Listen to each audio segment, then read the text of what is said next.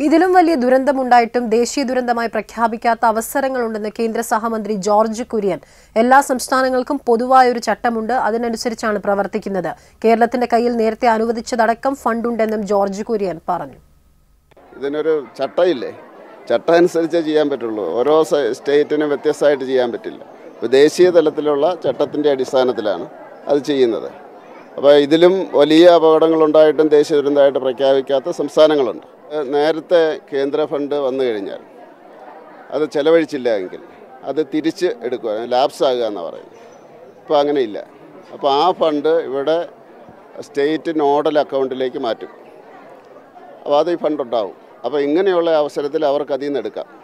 അപ്പോൾ കേന്ദ്ര ഗവൺമെന്റിന്റെ കണക്കിൽ ജൂലൈ മാസം മുപ്പത് മുപ്പത്തൊന്നിന് കൊടുത്തതും ഒക്ടോബർ ഒന്നിന് കൊടുത്തതായിട്ട് ഇരുന്നൂറ്റി തൊണ്ണൂറ് കോടി രൂപ പിന്നീട് കൊടുത്തിട്ടുണ്ട് ദുരന്തത്തിന് ശേഷം. നേരത്തെയുള്ള ഫണ്ടും കൂടെ കൂടി എഴുന്നൂറ്റി എൺപത്തിരണ്ട് കോടി രൂപയുണ്ടെന്നാണ് ഹൈക്കോടതി പറഞ്ഞിരിക്കുന്നത്. അത് സംസ്ഥാന സർക്കാരിന് ഉപയോഗിക്കാം.